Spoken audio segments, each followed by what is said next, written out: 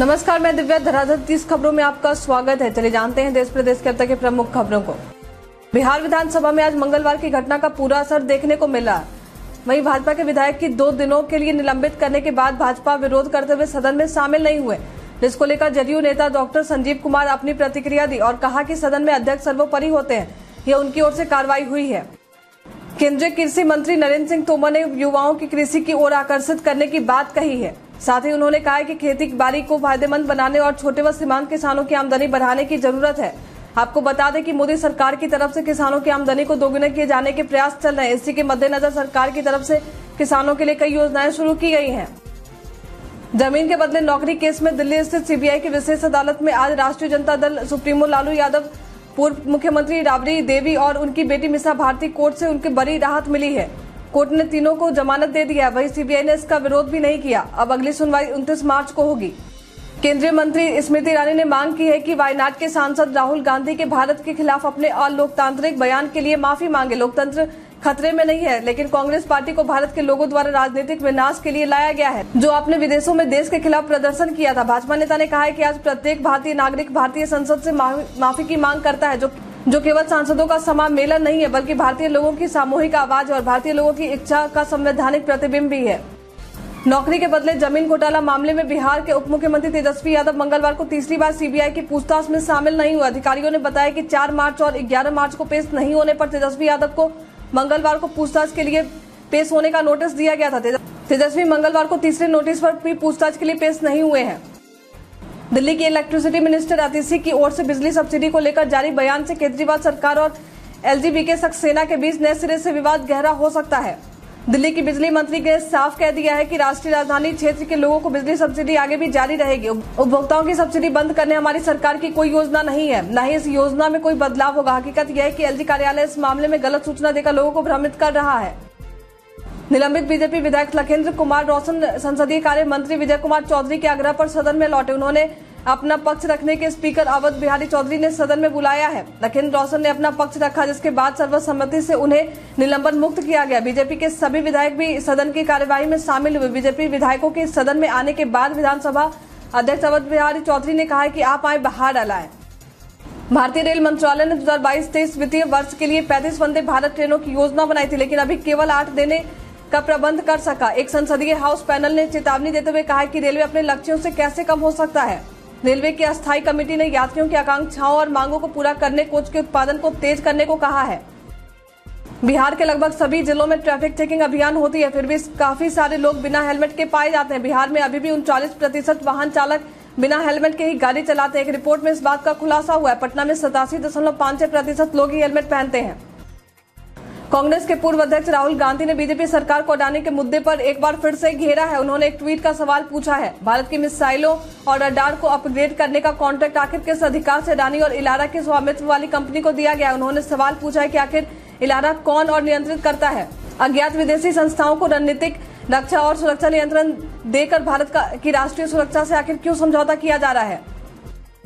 कश्मीर पहले विश्व सेब सम्मेलन की मेजबानी कर रहा है। इस इवेंट में हर उम्र के लोगों के लिए सेब से जुड़ी अलग अलग इवेंट गतिविधियाँ और इवेंट शामिल होंगी। केंद्र शासित प्रदेश, जम्मू कश्मीर की राजधानी श्रीनगर में पहला विश्व सेब सम्मेलन 24 और 22 जून तक आयोजित किया जाएगा। आयोजकों ने मंगलवार को यह जानकारी दी। पुणे स्थित एक गैर सरकारी संगठन सरहदी और Sopore apple farmer producer company से आयोजन में शामिल होने वाली। भारतीय मेडिकल छात्रों का विदेश से एमबीबीएस की डिग्री लेना और अपने मुल्क आकर डॉक्टरी करना आसान नहीं होगा। नेशनल मेडिकल कमीशन ने अब यह अनिवार्य कर दिया है। जो विषय भारत में एमबीबीएस में पढ़ाए जा रहे हैं, वही विषय देश से बाहर की पढ़ाई में भी ज़रूरी होने चाहिए। एनएमसी ने इसके लिए विषयों की एक सूची भी जारी की है। बुधवार को बीएसएफ के सहायक प्रशिक्षण केंद्र कश्मीर में नए रंग रूटों की पसिंग आउट परेड को पत्रकारों से बातचीत करते हुए अतिरिक्त DG BSF PV Rama Shastri ने कहा कि जम्मू कश्मीर में सीमा पर स्थिति नियंत्रण में है। सीमा को अभेद्य बना दिया गया बीएसएफ सतर्क है और देश की सुरक्षा के खिलाफ किसी भी दुस्साहस को विफल करने में सक्षम है।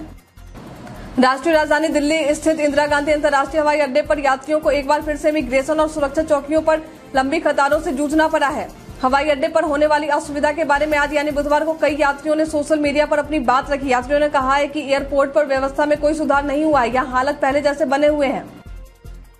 गौतम अडानी नेटवर्क में लगातार दूसरे बार गिरावट देखने को मिली है। इसका कारण है कि अडानी ग्रुप कंपनियों के शेयरों में गिरावट का सिलसिला दूसरे दिन भी जारी रहा। तीन कंपनियों के शेयर लोअर सर्किट पर कारोबार कर रहे हैं, जिसकी वजह से 90 मिनट के कारोबारी सेशन में गौतम अडानी की नेटवर्क में बाईस हज़ार करोड़ रुपए से ज़्यादा की गिरावट देखने को मिल चुकी है। साथ ही वो दुनिया के टॉप 25 सबसे अमीर कारोबारियों की लिस्ट से भी बाहर हो चुके हैं।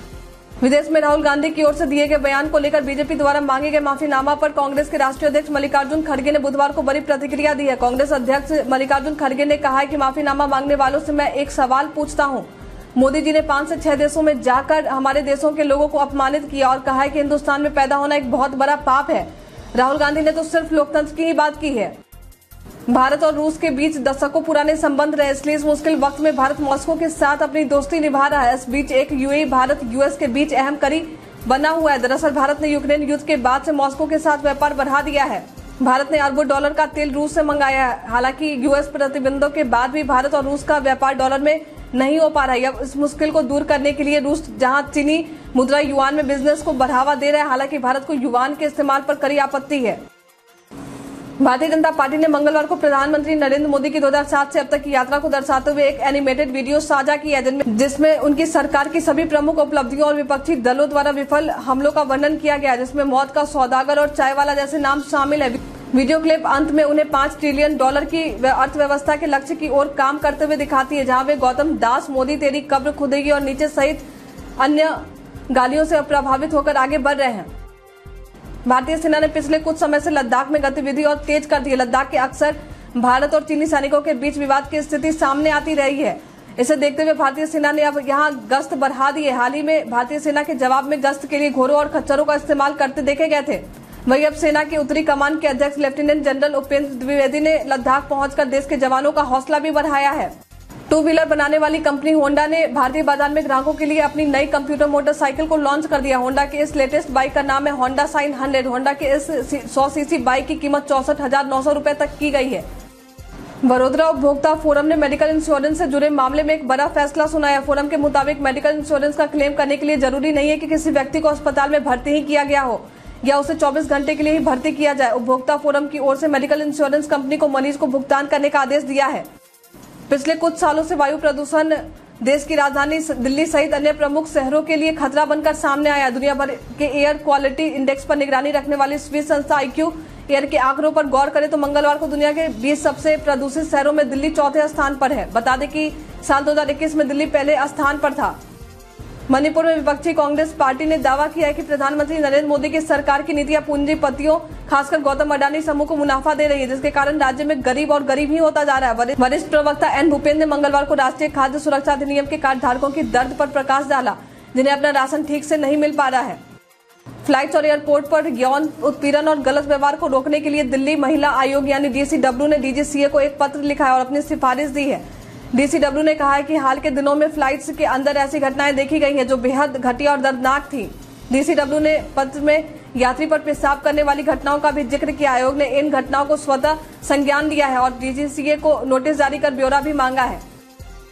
एक्टर सुनील शेट्टी ने सीएम योगी से बाइकॉट मामले में एक अपील की थी, जिसका वीडियो भी खूब वायरल हुआ था। जिसके बाद बीजेपी को राष्ट्रीय कार्यकारिणी की बैठक में पीएम नरेंद्र मोदी ने पठान फ़िल्म पर की गई बयानबाजी पर सख्त रोक दिखाया था और नेताओं को बॉयकॉट से दूर रहने की हिदायत दी थी। सुनील शेट्टी ने इसको लेकर पीएम मोदी और यूपी के सीएम योगी आदित्यनाथ को धन्यवाद दिया है। केंद्र सरकार ने मंगलवार को राज्यसभा में कहा कि ऑर्गन ट्रांसप्लांट की ज़रूरत वाले मरीज़ अब देश के किसी भी राज्य में अपना रजिस्ट्रेशन करा सकते हैं। इससे पहले मरीज़ के रजिस्ट्रेशन के लिए राज्य के मूल निवासी होने की शर्त थी, जिसे अब हटा दिया गया है। एक महत्वपूर्ण कदम उठाते हुए भारत ने पाकिस्तान के रक्षा मंत्री ख्वाजा आसिफ को अगले महीने नई दिल्ली में होने वाली संघाई सहयोग संगठन की बैठक में भाग लेने के लिए आमंत्रित किया। उसी पर एक औपचारिक निमंत्रण भारत सरकार द्वारा पाकिस्तान विदेश कार्यालय को दिया गया है। एससीओ के रक्षा मंत्रियों की बैठक अप्रैल में होगी। वही गुट के विदेश मंत्री मई में गोवा में एकत्र होंगे। भारतीय वायुसेना ने उनचालीस नए सैन्य हवाई अड्डों और नौ एडवांस लैंडिंग ग्राउंड को नागरिक उन्नयन सेवा के लिए उपलब्ध कराने का फैसला किया। इनमें देश के सुदूर सीमावर्ती इलाकों में स्थित हवाई अड्डे भी शामिल है। वायुसेना के इस पहल को सरकार के आम लोगों के लिए हवाई सेवा सुगम बनाने और दूर दराज के इलाकों को हवाई नक्शे में शामिल करने की दिशा में बड़ा कदम माना जा रहा है। इस योजना को रक्षा मंत्रालय और एयरपोर्ट अथॉरिटी ऑफ़ इंडिया मिलकर मूर्त रूप देंगे। वायुसेना के इन नए एयरबेस की सूची का खुलासा नहीं किया गया है। हमारे द्वारा पूछे गए सवाल का आप लोगों में से बहुत लोगों ने अपना जवाब हमारे कमेंट सेक्शन बॉक्स में लिख कर दिया था, जिन्होंने हमारे द्वारा पूछे गए सवाल का जवाब दिया। उनके नाम है H K Malhotra Nunnu Golu Kumar Ravishankar, MD Sakir Hussain, Yansu Pratap Singh, MD Nausad Raza Lab Baitha और कुशलेंद्र कुमार सिन्हा। बढ़ते हैं आज के सवाल की ओर। आज का सवाल है, युवाओं को कृषि के क्षेत्र में आकर्षित करने के लिए सरकार को क्या कदम उठाए जाने चाहिए? आप अपना जवाब हमें हमारे कमेंट सेक्शन बॉक्स में लिखकर ज़रूर बताएँ। आज के लिए इतना ही, धन्यवाद।